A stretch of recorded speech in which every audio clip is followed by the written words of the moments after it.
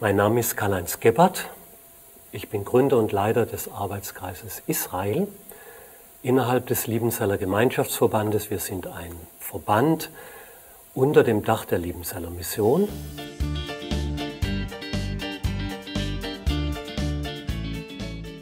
Ich möchte sehr gerne, dass Sie mit dabei sind auf unserem Kongress in Berlin. Und warum? Ich glaube, dass Sie dadurch einen Riesengewinn haben werden für Ihr persönliches Leben.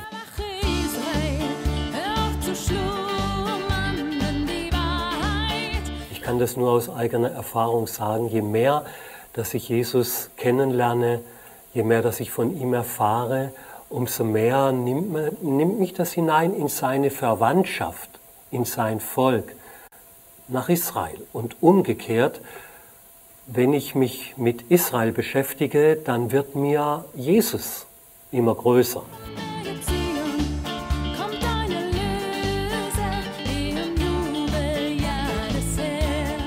Wir haben als Christen, wir haben als Gemeinde Jesu einen Auftrag an diesem Volk. Jesus ist nicht nur unser Messias, es ist der Messias Israels zuallererst mal.